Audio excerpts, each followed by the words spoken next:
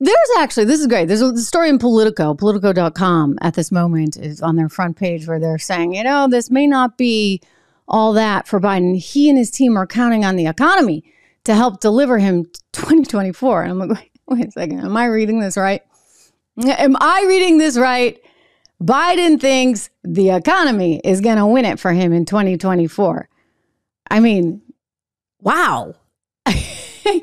you know, Bidenomics. So Bidenomics with the, you know, $25 hamburger in one part of Connecticut over at McDonald's. Kid you not, there's some like value meal apparently in some Tony town there. New York Post did a story on it. And then other towns, like New York City, I guess it's like 16 bucks for that value meal at McDonald's. I'm like, anytime somebody tries to tell you Bidenomics is working, you remind them that it costs 16 bucks for a McDonald's value meal in New York City. Hey, Bidenomics is not working, okay? Plain and simple. There was a read on inflation today, came in, the consumer price index up 3.2% over last year, but everybody's like, woo, you know what? It didn't go up from last month because that's how desperate we are. The Fed has an inflation problem. At some point, I think they're going to have to move on rates, but they've chosen not to. So, you know, the market loves that. And it's game on. It's game on, game on, game on even though they're looking for 1.5 to 2%. I mean, people are just like, whew, at least it didn't go up.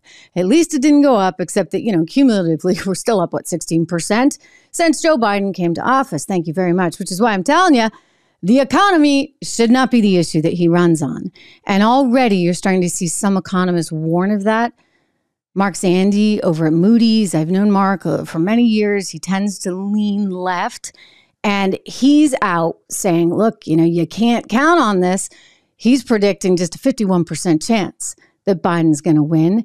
There's another economist, uh, a well known Ray Fair, I believe, who's come out saying, you know, don't bet on it. Listen, you can't bet on it. I'm going to be the realist here. You know, I got no allegiance to anyone.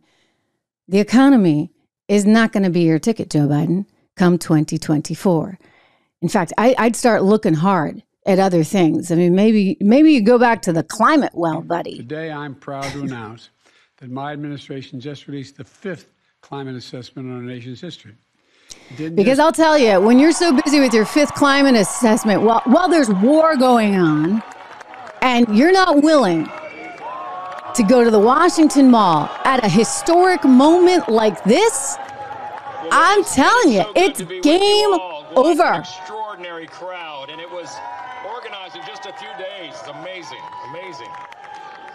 There, there are few issues in Washington that could so. There are a few issues in Washington, Mike Johnson says. Yep. You know, there are a few issues that we can all agree on. And pretty much everybody is in line except for, oh, I don't know, the extremists. And Joe Biden is so worried about those extremists that he can't show up at a rally for Israel. That is pretty tragic.